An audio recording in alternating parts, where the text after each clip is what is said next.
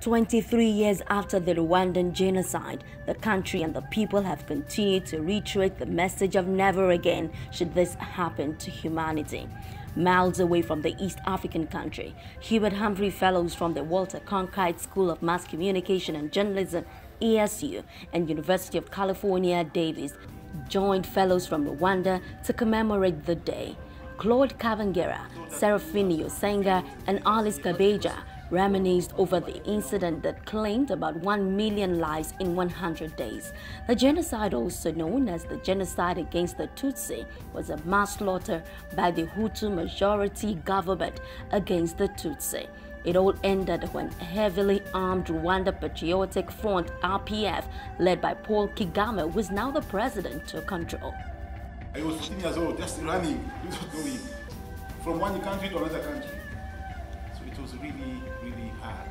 The internet may not be there, but what lies in our hearts, it's what's important and the way we spread the message to keep the people knowing that this is uh, a bad thing not to happen again. So I remember I was five years old uh, when that thing happened. and we couldn't find anything to eat with my parents. Seraphine talked about walking miles from Rwanda to Congo. We walked miles from Rwanda to Tanzania. So I think it's like two hours by plane flying from Rwanda to, um, to Tanzania. So it was painful. They also talked about how they have been able to move on. Before genocide, some people couldn't attend schools. There was really a lot of discrimination. But now, for you can be hired for working because of your capacity, not because of, of your ethnic or your group.